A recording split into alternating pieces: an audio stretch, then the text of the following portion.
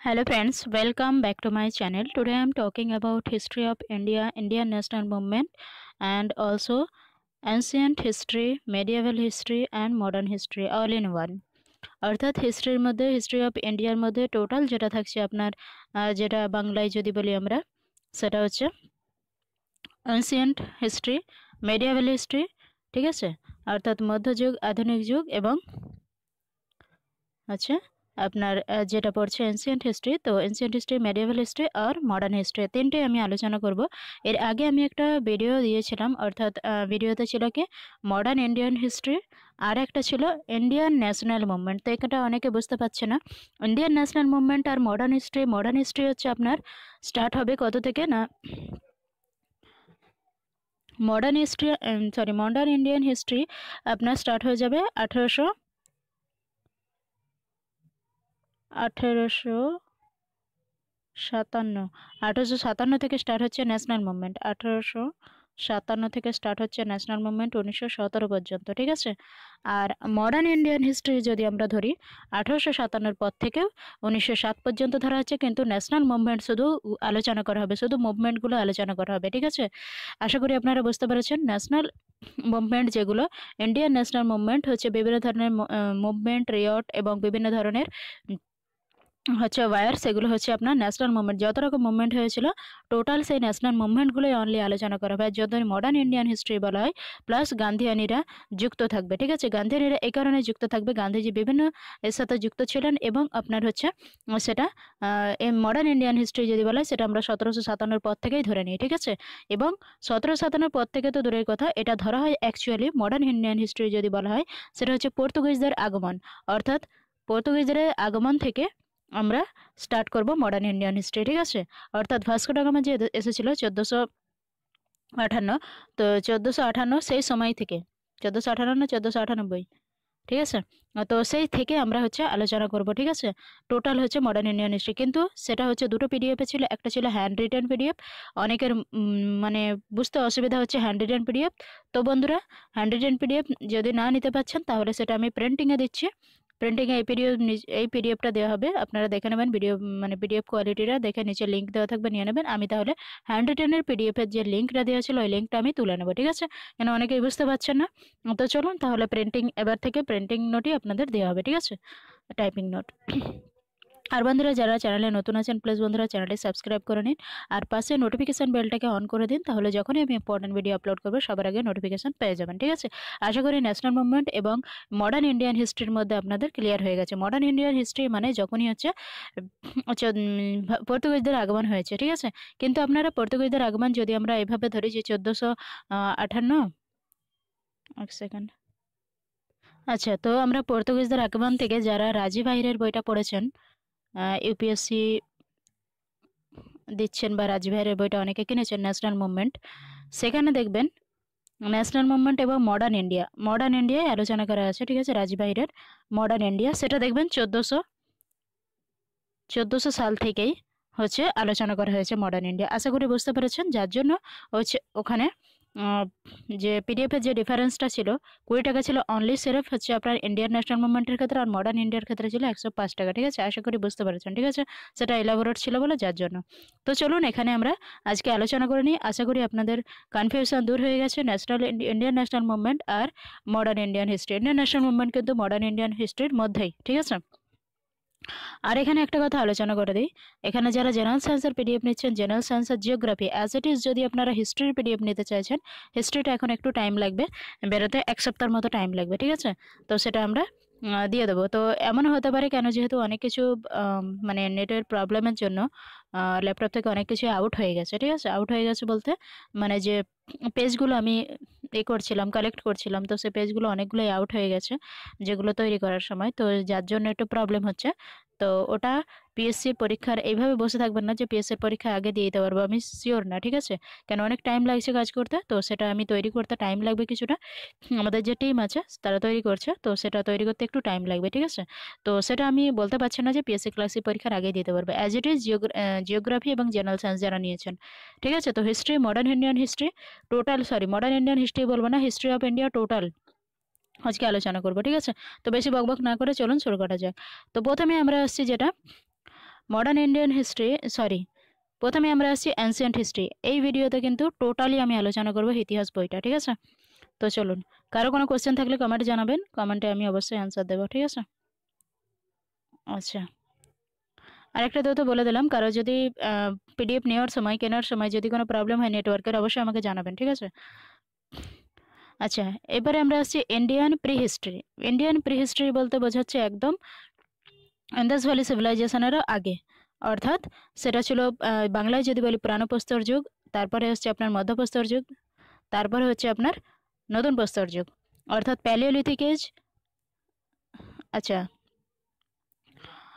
এগুলো আমাদের যেগুলো ইম্পর্টেন্ট আসবে, সেগুলোই আমি আলোচনা করব, সব আলোচনা করা যাবে না একটা ভিডিওতে the period there of there of there four one was stone age which has been divided into palaeolithic age আগেই বলেছি old stone age middle stone age হচ্ছে মেসোলিথিক এজ আর নিওলিথিক এজ এখানে একটা কোশ্চেন মেসোলিথিককে বলা হয় মাইক্রোলিথ এই কারণে বলা হয় ডাব্লিউবিসিএস এর কোশ্চেন এটা।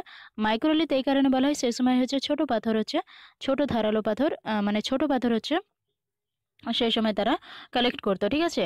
নিওলিথিক এজ নিওলিথিক এজ হচ্ছে নিওলিথিক এজটাকে বলা হয় ম্যাসোলিথিক এজ ঠিক আছে? নিওলিথিক এজটাকে বলা হয় ম্যাসোলিথিক এজ হচ্ছে বড় স্টোন অর্থাৎ বড় পাথর।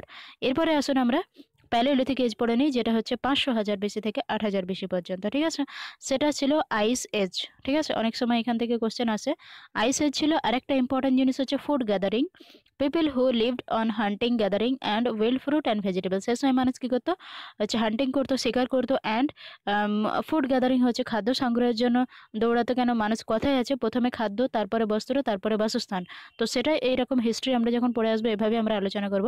খাদ্য, বস্ত্র, বাসস্থান, মানুষ প্রথমে খাদ্যের জন্য দৌড়ালো অর্থাৎ ফুড গ্যাদারিং তারপরে হচ্ছে live on hunting and gathering fruit vegetable ঠিক আছে?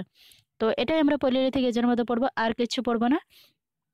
এরপরে আমরা আসব আচ্ছা এখানে একটা জিনিস যেটা বিসিএস এসেছিল আগের বারে দ্য টুলগুলো মনে রাখতে হবে প্যালিলিথিক এজ মেসোলিথিক এজ আর নিওলিথিক এজের প্যালিলিথিক এজের টুল হচ্ছে হার্ড রক কল্ড হচ্ছে কোয়ারজাইট হেন্স প্যালিলিথিক মেন আর অলসো কল কোয়ারজাইট মেন ঠিক আছে?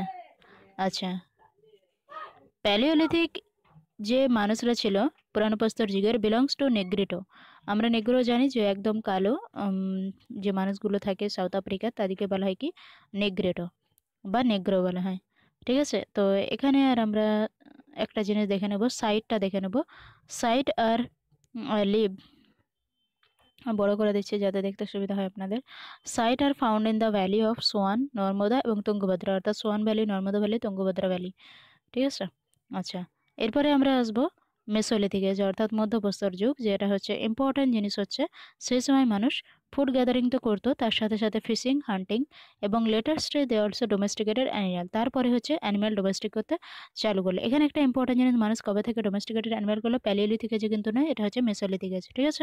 এটা আট হাজার থেকে ছ হাজার বেশি বেশি মানে বিফোর ক্রিস্ট আচ্ছা এরপরে আমরা আসছি মেসোলিথিক এজ কোথায় থাকে হচ্ছে সাইডগুলো Chotanagpur region central India south of Krishna actually mesolithic age হচ্ছে সাউথ ইন্ডিয়া সাউথ ইন্ডিয়ার দিকটাই বলা হয়। এখানে হচ্ছে বেলন ভ্যালি বিন্ধ বিন্ধ এখানে হচ্ছে নর্মদা ভ্যালি এগুলো হচ্ছে পার্টগুলো এখানে আলোচনা করা হয়। আর এখানে কিছু পড়ার দরকার নেই। নিওলিথিক এজটা একটু ইম্পর্টেন্ট সেটা হচ্ছে ছ হাজার থেকে হাজার বেশি পর্যন্ত সাউথ এবং ইস্টার্ন ইন্ডিয়া এখানে হচ্ছে পাওয়া গেছে কিছু সাইট আচ্ছা এখানে হচ্ছে ইম্পর্টেন্ট জিনিস হচ্ছে মানুষ হচ্ছে যে ফসল করতো grape fruit corn like ragi horse gram এগুলো। আচ্ছা এখানে হচ্ছে ইম্পর্টেন্ট জিনিস ডোমেস্টিকেটেড অ্যানিম্যাল এখানে হচ্ছে পরীক্ষা আছে দু হাজার সতেরোই ডাব্লিউবিসিএস মেন্স হচ্ছে domesticated cattle sheep and goat তাহলে প্রথম ডোমেস্টিকেটেড ক্যাটেল কি শিপ আবারও বলছি, প্রথম ডোমেস্টিকেটেড ক্যাটেল হচ্ছে শিপ আশা করি এই কোশ্চেনটা আর ভুলবেন না। আচ্ছা এরপরে আমরা আসছি মানুষ সেই সময় কী করতো? নিওলিথিকে যে মেকিং পটারি অর্থাৎ পরীক্ষা এটা আছে, কুমোরের চাকা। কুমোরের চাকা কবে আবিষ্কার হয়েছে? সেটা হচ্ছে নিওলিথিকে যে অ্যান্ড বাই পটার হুইল অর্থাৎ হচ্ছে চাকা। চাকা এবং হচ্ছে মাটির পাত্র, সেই সময় হচ্ছে মানুষ তৈরি করতো। সেটা হচ্ছে নিউলিথিকেজ ঠিক আছে? আশা করি আর বলবেন না এই কোশ্চেনগুলো এরপরে আমরা একটু সাইডগুলো দেখে নিই। সাইডগুলো হচ্ছে কলদিয়া ইউপি অ্যান্ড হচ্ছে নিওলিথিক নিওলিথিক এজটা কি ছিল? চ্যালকোলিথিক এবং আয়রন এজ ভালো করে মনে রাখতে হবে চ্যালকোলিথিক এবং আয়রন এজ ছিল নিওলিথিক এজ আর নিওলিথিক এজকে বলা হয় ম্যাক্রোলিথ এরপরে আমরা আসছি চ্যালকোলিথিক এজ অর্থাৎ তামার যুগ। আচ্ছা তারপর এবার আমরা দেখে নেব apart from the stone tools hand axe and other object copper were also use hand অ্যাক্সটা মনে রাখতে হবে হ্যান্ড অ্যাক্সটা কোন যুগে? নিওলিথিক এজে ঠিক আছে? টুলসগুলো কিন্তু মনে রাখতে হবে। নিওলিথিক এজ কোথায় স্প্রেড হয়েছে? সেটা ছড়িয়ে পড়েছিল Rajasthan, Maharashtra West Bengal Bihar, Madhya Pradesh middle India আচ্ছা এরপরে আমরা আসছি very very important Indus valley civilization যেখান থেকে অনেক কোশ্চেন আসে পরীক্ষায়। ইন্দাস ভ্যালি সিভিলাইজেশন যেটা ছিল, আমরা সবাই জানি যে এটা হচ্ছে কালচারটা ছিল বেশিরভাগ সরস্বতী সিন্ধু সিভিলাইজেশন অর্থাৎ যেটা পঞ্চনদ বলা হয়, যেটা হচ্ছে সিন্ধুর পাঁচটা উপনদী সরি সপ্ত সিন্ধু বলা হতো এটা, সাতটা উপনদী মিলিয়ে সরস্বতী তো এখন হারিয়ে গেছে। তো অনেক সময় পরীক্ষা আছে যে কোন নদী হারিয়ে গেছে সপ্ত সিন্ধুর মধ্যে, সেটা হচ্ছে সরস্বতী, ঠিক আছে? তো বাকি হচ্ছে এখানে site have been found in Hakra Ghaggar river আচ্ছা। আচ্ছা এখানে আমাদের যেটা ইম্পর্টেন্ট সেটা পড়ব যে দয়ারাম সাহানি হচ্ছে ডিসকভার করেছিল হরপ্পা। সেটা হচ্ছে রাবি নদীর তীরে উনিশশো একুশ। কোন নদীর তীরে রাবি নদীর তীরে ভালো করে মনে রাখতে হবে মহেঞ্জোদারো মহেঞ্জোদারো হচ্ছে মাউন্ট অফ ডেড বলা হয়েছে। মাউন্ট অফ ডেড হয় মহেঞ্জোদারো ইন্দাস নদীর তীরে আর হচ্ছে ডিসকভার্ড বাই হচ্ছে জন মার্শাল। বা এখানে হচ্ছে রাখাল দাস বন্দ্যোপাধ্যায়, ঠিক আছে? রাখাল দাস বন্দ্যোপাধ্যায় অপশানে না থাকলে আমরা জন মার্শালকেই দেবো। কেন? জন মার্শাল হচ্ছে প্রথম ব্যক্তি। উনিশশো বাইশ খ্রিস্টাব্দে এটা ডিসকভার করেছিলেন। Harappan civilization from part of the proto history India and belongs to bronze age তাহলে আমরা কি জানলাম? হরপ্পান সিভিলাইজেশন কিন্তু কপার এজ নয় ব্রঞ্জ এজ ভালো করে মনে রাখতে হবে Harappan civilization belongs to bronze age এই সময় যে মানুষগুলো দেখা যেত কত রকমের মানুষ ছিল? চার রকমের। একটা হচ্ছে মেডিটেরিয়ান প্রোটোঅ্যাস্ট্রোলয়েড মঙ্গোলয়েড অ্যালপাইন একটা আপনারা কোশ্চেন বলুন তো এখানে। আপনারা, অর্থাৎ এটা ওয়েস্ট বেঙ্গলের লোকেরা কিসের মধ্যে পড়ছে? মেডিটেরিয়ান পড়ছে না প্রোটোঅ্যাস্ট্রোলয়েড না মঙ্গোলয়েড না অ্যালপাইন এটা আমি আপনাদের থেকে জানতে চাইলাম। আচ্ছা এরপরে আমরা আসছি যে according to radio carbon dating radio carbon ডেটিংয়ের সালটা মনে রাখতে হবে very very important radio carbon ডেটিংয়ের সাল হচ্ছে পঁচিশশো থেকে সতেরোশো পঞ্চাশ বেশি। আবার বলছি পঁচিশশো থেকে সতেরোশো পঞ্চাশ বেশি হচ্ছে রেডিও কার্বন ডেটিং যেটা হচ্ছে কার্বন ফোরটিনের মাধ্যমে এটা রেডিও কার্বন ডেটিং করা হয়। ঠিক আছে? Copper bronze silver gold are known but not iron very very important iron কিন্তু সেই সময় পাওয়া যায়নি। খুব ইম্পর্টেন্ট এখানে আয়রন হর্স বলে মনে রাখবেন। Iron horse. তাহলে দুটো কোশ্চেন আপনাদের একসাথে হয়ে যাচ্ছে। হর্সও পাওয়া যায়নি আয়রনও পাওয়া যায়নি। ইন্দাস ভ্যালি সিভিলাইজেশন মাইন্ডেড এটা ইন্দাস ভ্যালি সিভিলাইজেশনে কোনো হর্স পাওয়া যায়নি, কোনো আয়রন পাওয়া যায়নি, ঠিক আছে? কিন্তু কী কী পাওয়া যেত? ব্রঞ্জ সিলভার গোল্ড তিনটাই ছিল। আচ্ছা এরপর আমরা আসছি কিছু জিওগ্রাফিক্যাল এক্সটেন্ট যেটা হচ্ছে covered part Punjab Sindhu Baluchistan Gujarat Rajasthan some part of the western UP extended from Manda Jammu আচ্ছা এখানে একটা জিনিস আপনাদের দেখে দিই, যেটা পরীক্ষায় সবসময় আসে। আচ্ছা এখানে হচ্ছে মান্ড, উত্তরে হচ্ছে মান্ড, যেটা এক্সাভাগেশন সাইড যেগুলো ছিল উত্তরে মান্ড, দক্ষিণে হচ্ছে দায়মাবাদ, আর পূর্বে হচ্ছে ইস্টার্ন ইউপি অর্থাৎ আলমগীরপুর ছিল, আর পশ্চিমে ছিল কি? পশ্চিমে ছিল বালুচিস্তান।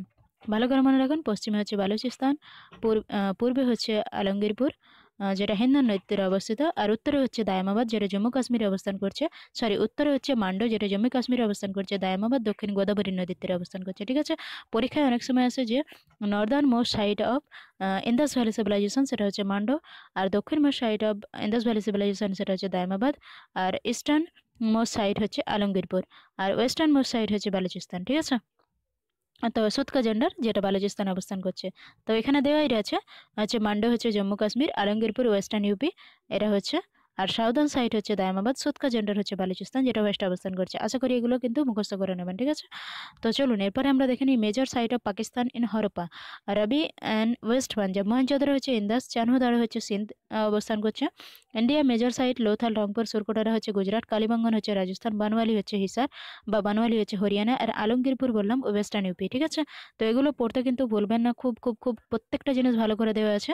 যার জন্য আমি এই ভিডিওতে আলোচনা করছি, যাতে আপনার আর বই পড়ার প্রয়োজন হবে না এই ভিডিওটা দেখলে ঠিক আছে আর যাদের ভিডিও পিডিএফ টেনে দেওয়া আছে নিচে লিঙ্ক দেওয়া থাকবে নিয়ে নেবেন এটা বুঝতে আশা করি অসুবিধা হবে না লেখাগুলো largest and the latest site in India Dholavira in Gujarat doctor J.R. Joshi and Dr. R.S. Best are involved in it. Very, very important.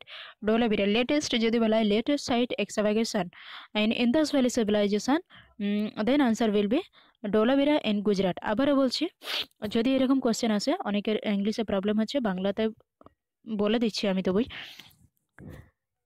Latest site মানে হচ্ছে একদম নতুন, যদি বলা হয় নতুন কোনো সাইট হচ্ছে পাওয়া গেছে সেটা হচ্ছে গুজরাটের ডোলাবিরা ঠিক আছে? লেটেস্ট সাইট আই থিঙ্ক এটা উনিশশো চুয়ান্ন অর্থাৎ একদম ইন্ডিপেন্ডেন্সের পরে, ঠিক আছে? সাইটটার আমি সালটা এখানেই দেওয়া আছে কোথাও, আমি সেটা বলে দেবো, ঠিক আছে? তো এখানে আসুন Indus valley civilization town planning very very important town planning টা ভালো করে মনে রাখতে হবে ইলাবোরেটেড টাউন প্ল্যানিং হচ্ছে গ্রেড সিস্টেম ছিল রোডস অ্যান্ড ওয়েল ছিল ফ্ল্যাঙ্কিং দ্য স্ট্রিট অ্যান্ড হচ্ছে by lanes were well planned house well planned house বলতে যেটা হচ্ছে বাংলায় যদি বলি হচ্ছে পয় প্রণালী ব্যবস্থাটা ওদের ভালো ছিল। Burnt brick of good quality very very important এই কথাটা মনে রাখবেন, তোমার হচ্ছে পোড়া ইটের ব্যবহার ছিল। বান্ট ব্রিক ঠিক আছে? বান্ট ব্রিক এবং মাড ব্রিক মাড ব্রিক হচ্ছে কাদার তৈরি। এরপরে আমরা আসি গুড ড্রেনেজ সিস্টেম এটাই হচ্ছে ইম্পর্ট্যান্ট যে হরপ্পা মঞ্জুদরের সব থেকে যদি বলে এটাকে টাউন প্ল্যানিংই বলা হয় এবং তাদের ড্রেনেজ সিস্টেমটা ছিল সব থেকে ভালো, ঠিক আছে? এবারে বলা হয় টাউনকে যদি দুটো ভাগে ভাগ করা হয় আপার আপার পার্ট অর্থাৎ আপার হাউস যেগুলোকে বলা হয় সিটাডেল আর লোয়ার পার্টটাকে বলা হয় এমনি লোয়ার হাউস তো সিটাডেল যেটা সিটাডেলটাকে বলা হয় অ্যাকচুয়ালি বাংলায় যদি বলি এটাকে দুর্গ বলা হয়, ঠিক আছে? তো এখানে বলা আর দুর্গ যেটা সিটাডেল কোথায় অবস্থিত ছিল বেশিরভাগ, সেগুলো আমরা বলা দেখে নেব। এখানে বলা হয়েছে সিটাডেল ছিল mud brick wall and citadel public building granary important workshop religious building actually দুর্গ বলতে এখানে বোঝাচ্ছে, আমরা মধ্যযুগে এটাও দুর্গ পড়ব আবার মডার্ন ইন্ডিয়ায় যখন চলে আসবে, সেগুলো হচ্ছে বিভিন্ন ধরনের তখন যে ব্রিটিশ সরকাররা যে দুর্গ করেছিল, সেখানে সব কিছু তাদের মজুদ থাকবে, ঠিক আছে? তো সেটাকেই তারা দুর্গ বলতে গ্রানারি থেকে আরম্ভ করে বিভিন্ন ধরনের ওয়ার্কশপ বিভিন্ন ধরনের সভা সমিতি সেখানে সব কিছু করা হতো, সেটা হতো সিটাডেল একদম যে আপনার বিভিন্ন যে মানুষের বসবাসের স্থান আছে, সেখান থেকে একটু উঁচুতে অবস্থান করতো সিটাডেল ঠিক আছে? সিটাডেল কোথায় পাওয়া গেছে? ঢোলাবিরাতে পাওয়া গেছে, ঠিক আছে? আচ্ছা এখানে আরেকটা জিনিস মহেঞ্জোদারো হচ্ছে গ্রেড বাথ এখানে অনেকেই কোশ্চেনটা কনফিউশন থেকে যায়।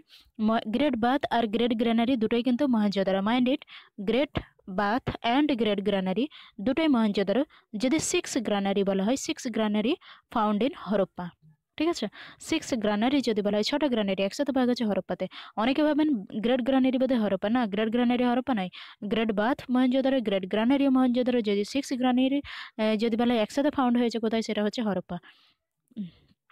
ঠিক আছে? আচ্ছা এরপরে আমরা আসছি যে এক্সাভেশন এক্সাভাগেটার এবং সাল। আগেই বললাম, সালগুলো আলোচনা করে দেবো। চানুদার চানুদার হচ্ছে ইন্দাস নৈত্যের অবস্থিত উনিশশো একত্রিশ আছে M G Majumdar. M G Majumdar কারা কারা এক্সাভাগেট মানে এক্সাভাগেট করেছে, অর্থাৎ কারা কারা খনন করেছে, সেই নামগুলো হচ্ছে ভেরি ইম্পর্টেন্ট সুৎকা জেন্ডের কথাই বললাম? এটা হচ্ছে বালুচিস্তানে, কিন্তু এটা দশক নদীর তীরে অবস্থিত। উনিশশো সাতাশ হচ্ছে অরাল স্টেইন অরাল স্টেইন হচ্ছে এক্সাভাগেটার অর্থাৎ খননকারী। এরপর আসছি আমরা কোড এখানে দিয়েছে কোড দ্বীপ। আচ্ছা কোড দ্বীপ সেটা হচ্ছে ইন্দাস নৈত্যের অবস্থিত ফাজল আহমেদ খান, হচ্ছে এটার এক্সাভাগেটার রূপার। রূপার হচ্ছে কি? রূপার হচ্ছে স্যাটেলাইট নৈত্যের অবস্থিত ভেরি ভেরি ইম্পর্টেন্ট এটা এটা পরীক্ষা একবার এসেছিল। রূপার হচ্ছে কোন নৈত্যের অবস্থিত রূপার হচ্ছে স্যাটেলাইট নৈত্যের অবস্থিত উনিশশো তিপ্পান্ন বাংলায় যদি বলি, এটা শতদ্র নৈত্যের অবস্থিত উনিশশো তিপ্পান্ন এটা এক্সাভাগেটেড হচ্ছে ওয়াইডি শর্মা বানওয়ালি, এটা হরিয়ানাতে অবস্থিত বানওয়ালি হচ্ছে সরস্বতী নৈত্যের অবস্থিত উনিশশো তিয়াত্তর খ্রিস্টাব্দে আর এস বিস্ট আচ্ছা। উনিশশো চুয়ান্ন যেটা বলছিলাম লোথার লোথার হচ্ছে উনিশশো চুয়ান্ন ভগবানৈত্যের অবস্থিত এস আর রাও। আচ্ছা রংপুর। রংপুর কোথায় অবস্থিত? রংপুর হচ্ছে, এখানে হচ্ছে মোহর নৈত্রে অবস্থিত। আর এটা হচ্ছে M S Bhat, Bebilal, S R Rao, এরা তিনজন মিলে এটা খনন করেছিলেন। আমরি। আমরি হচ্ছে ইন্দাস নৈত্রে অবস্থিত। এটা হচ্ছে এন জি মজুমদার উনিশশো উনত্রিশ সালে খনন করা হয়েছে। Kalibangan very very important Ghaggar নৈত্রে অবস্থিত। আর এটা উনিশশো একষট্টি সালে বেবিলাল। সুরকোটরা। সুরকোটরা হচ্ছে সুরকোটরা হচ্ছে গুজরাটে অবস্থিত। উনিশশো চৌষট্টি সালে এটা এক্সিভাগেট করা হয়েছে জেপি যোশী আলমগীরপুর হিন্দন নৈত্রে অবস্থিত এটা এক্সিভাগেট করা হয়েছে উনিশশো আঠান্ন ওয়াইডি শর্মা। আচ্ছা এরপরে আসুন আমরা ইন্দাস ভ্যালি সিভিলাইজেশনের কিছু জিনিস দেখে নেই, যেগুলো হচ্ছে food granary. Very very important ওই সময় আছে। ইন্দাস ভ্যালি সিভিলাইজেশন মানুষরা কী কী চাষ করতো বা কী কী খেত। তো বেশি ইম্পর্টেন্ট হচ্ছে হুইট সব থেকে বেশি হুইট অর্থাৎ যেটা হচ্ছে গম। গম barley rye pea sesame mustard rice রাইসটা অনেক পরে হয়েছে। রাইস কোথায় পাওয়া গেছে? সেটা আমরা জানি লোথাল এবং রংপুরে পাওয়া গেছে। রাইস হাস্ক অর্থাৎ যেটা আমরা বাংলায় যেটা বলি ধানের যেটা চাল ছাড়ানোর পরে যেটা বেরোয় সেটাকে কি বলা হয়? তুষ বলা হয় আই থিঙ্ক তুষ না হলে আর একটা কি আছে, কুঁড়ো নাকি একটা নাম আছে।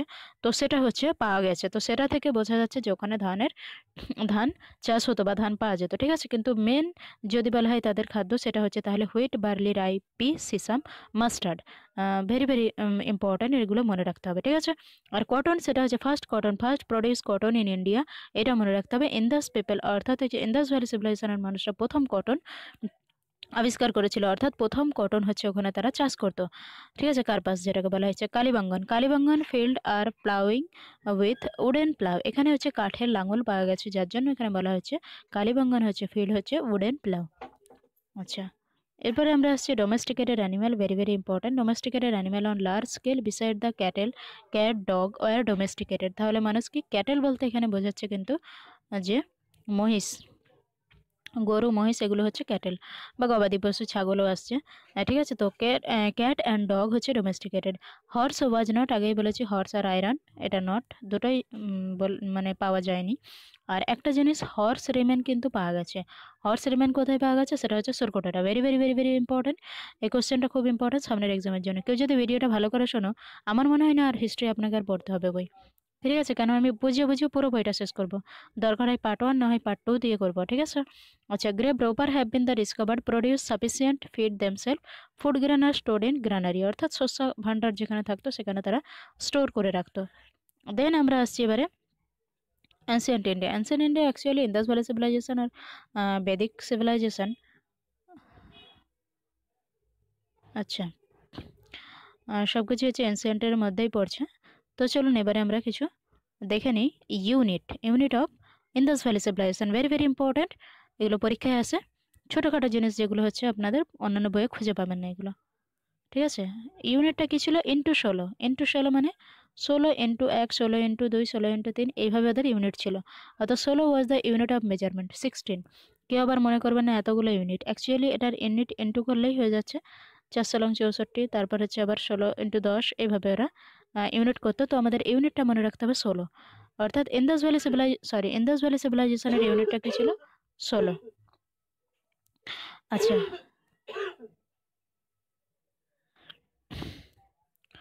এরপর আমরা আসছি faience tool work, shell work, bangle making, pottery making. এগুলো তো ছিল, এগুলো আর পড়ার কিছু দরকার নেই। ইম্পর্ট্যান্ট জিনিস কপার ফ্রাম ক্ষেত্রে ক্ষেত্রে কোথায় অবস্থিত? এটা রাজস্থান রাজস্থান থেকে তারা কপার হচ্ছে কী করতো? কপার হচ্ছে তারা ওইখান থেকে আহরণ করতো। মানে ওইখান থেকে তারা হচ্ছে খনন করে তুলতো বা ওইখানে পাওয়া যেত। লাপিস লাজলি পাওয়া যেত কোথায়? আফগানিস্তান থেকে লাপিস লাজলি নিয়ে আসতো। সিলভার কোথা থেকে পাওয়া যেত? সিলভার হচ্ছে এখানেই পাওয়া যেত প্রথম। সিলভার যদি বলা হয় গোল্ড নেওয়া হতো কর্ণাটক থেকে। কর্ণাটক থেকে আমরা জানি কর্ণাটকে হচ্ছে গোল্ডফিল্ড আছে। আর সেন্ট্রাল ইন্ডিয়া থেকে নেওয়া হতো tin bead making bead making হচ্ছে Chanhudaro very important bead making কোথায়? বেড মেকিং ফ্যাক্টরি ছিল চানুদাড়ে এবং লোথালে। ঠিক আছে? Very much important dockyard dockyard কোথায় পাওয়া গেছে? ডকইয়ার্ড পাওয়া গেছে সেটা হচ্ছে লোথাল। আর Rangpur Somnath Balakot function R seaport Sutkagendor and Sotkakoh function was outlet outlet মানে এখানে বন্দর ছিল, ওখান থেকে বিভিন্ন ধরনের। তখন তো সবসময় সি পথে অর্থাৎ হচ্ছে সমুদ্র পথে যাত্রা করতো মানুষ, তো সেখান থেকে হচ্ছে বিভিন্ন ধরনের এক্সপোর্ট ইম্পোর্ট তাদের ব্যবস্থা ছিল। ইনল্যান্ড ট্রান্সপোর্ট আচ্ছা এরপরে আমরা এখানে আর তেমন কিছু পড়ব না। এরপরে আমরা এসে যাব ইন্দাস ভ্যালি সিভিলাইজেশনের হচ্ছে কি ব্রঞ্জ এজ এটা বললাম belongs to bronze age not chalcolithic age not iron age এটা হচ্ছে ব্রঞ্জ এজ আচ্ছা।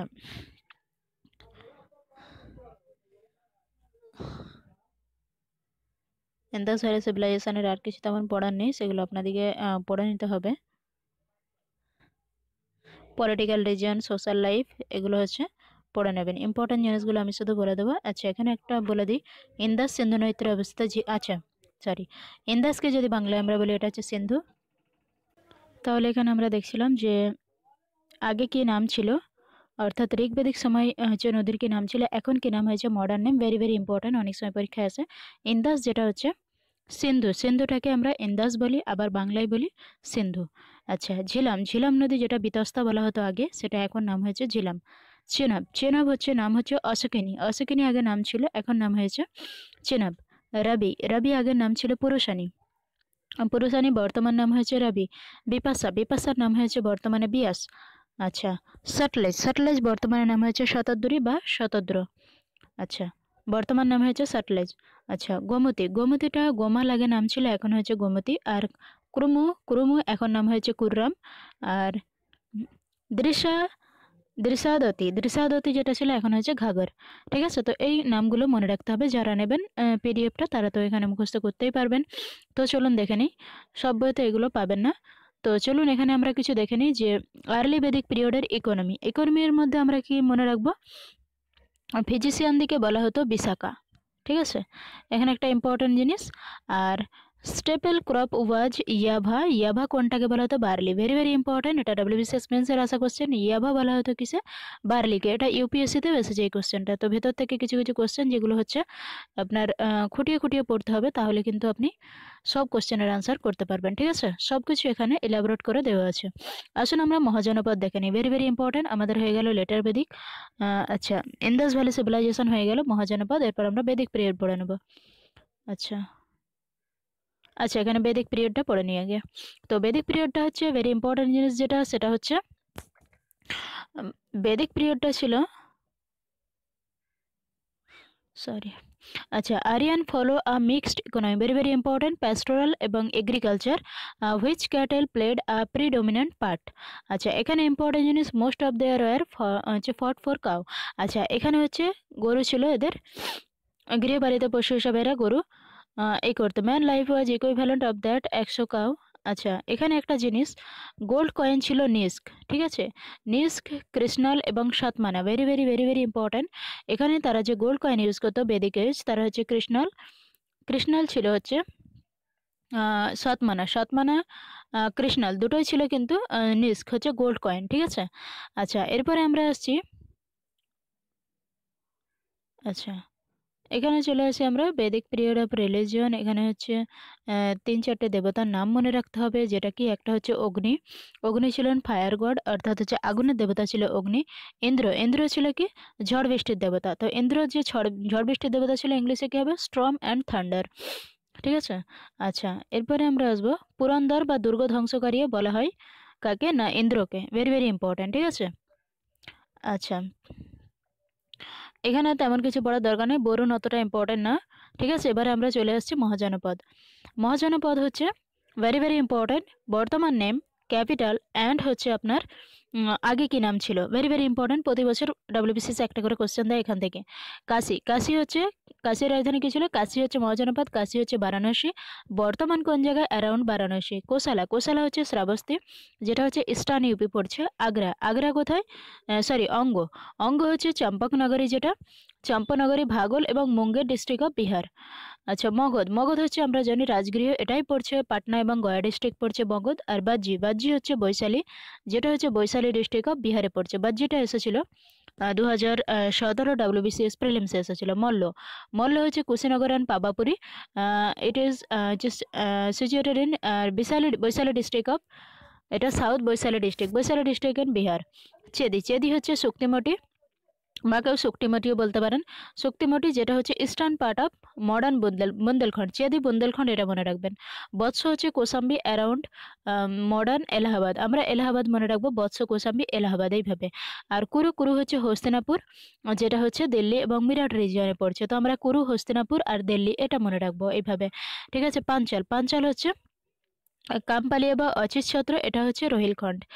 আচ্ছা মৎস্য মৎস্য হচ্ছে বিরাটনগর, যেটা পড়ছে জয়পুর এবং ভরতপুর। সুরসেন। সুরসেনা হচ্ছে মথুরা মথুরা রিজন সুরসেনটা ইম্পর্টেন্ট আছে। অ্যান্ড অশোক অশোক এটা হচ্ছে অশোক। অশোক হচ্ছে পৌঢান্য যেটা হচ্ছে মহারাষ্ট্র পড়ছে। অবন্তী হচ্ছে উজ্জয়িনী। গান্ধারা তক্ষশিলা, উজ্জয়িনী হচ্ছে উজ্জয়িনী ডিস্ট্রিক্ট বর্তমানে এখনও আছে। গান্ধারা হচ্ছে তক্ষশিলা, যেটা হচ্ছে কাবুল এবং রাউল রাউলপিন্ডি পড়ছে। আর কাম্বোজ হচ্ছে রায়পুর, যেটা হচ্ছে কাশ্মীরে পড়ছে। ঠিক আছে? তো চলুন বুদ্ধিজম ইন ইন্ডিয়া এবারে আমরা আসছি যে Buddhism and Jainism. Very very important এখান থেকে প্রতি বছর প্রতিটা পরীক্ষায় একটা কি দুটো কোশ্চেন আসবেই। তো বুদ্ধিজম যেটা, বুদ্ধ আমরা জানি তিনটে পিলার ছিল, যেটাকে বলা হয় Tripitaka. Its founder his teaching and order Buddhist of monk and nun যেটা হচ্ছে Buddha Dhamma Sangha very very important Buddha Dhamma সংঘটা মনে রাখতে হবে। বুদ্ধ হিস্ট্রি কি ছিল? অলসো নোন দ্য সাক্যমণি তাকে বলা হতো সাক্যমণি আর তথাগত বুদ্ধকে বলা শাকমণি শাক্যমণি অর্থাৎ তিনি ছিলেন শাক্য ক্লেন। সিএলএন ক্লেন, অর্থাৎ শাক্য বংশীয় বলা হতো। আর পাঁচশো তেষট্টি বিসিতে এনাদের জন্ম মানে যেটা হচ্ছে কি বলা হয় ডেট হচ্ছে বার্থ ডেট এবং হচ্ছে মৃত্যু ডেট হচ্ছে কনফিউশন থাকে, মতান্তরে বলে যুক্ত থাকে, তো আমরা কাছাকাছি পড়ে নেব, ঠিক আছে? পাঁচশো তেষট্টি বিসি যেটা হচ্ছে বিশাখা পূর্ণিমা ডে অ্যাট লুম্বিনী লুম্বিনীতে জন্মগ্রহণ করে নেয়াল হচ্ছে কাপিলাবস্তু, যেটা হচ্ছে বর্তমানে নেপালে অবস্থান করছে।